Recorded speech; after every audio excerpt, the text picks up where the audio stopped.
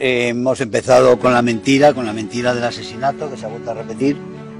No fue asesinado Salvador Allende, Salvador Allende se suicidó.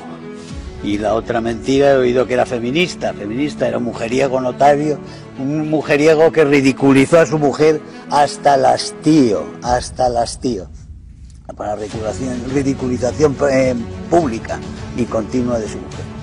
Dicho eso, señor Borrell, señor Borrell, la dictadura de Pinochet duró 16 años y quedó un país que, como todos han dicho, es floreciente democracia.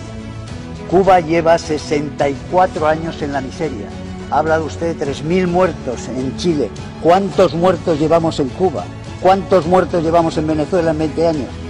Y ahí está usted protegiendo a esos regímenes y llorando por una dictadura que dejó un país, eh, que dejó un país en marcha, no dejó un país en ruinas, cogió un país en ruinas, porque si ven ustedes cómo estaba Chile con Allende, cómo estaban ocupando, cómo estaban matando, cómo estaban usurpando, cómo estaban eh, entrando a las fábricas y llevándoselas y llevándose a los y secuestrando a los capataces y secuestrando a los dueños y matando a la gente y no había y tiene usted las cartas de Frey y tiene usted las cartas de la Corte Suprema y tiene usted la carta común del Senado y del, y del Congreso viendo lo que era aquella ruina y, la mentira es lo peor, su persistencia permanente en la mentira. Señor.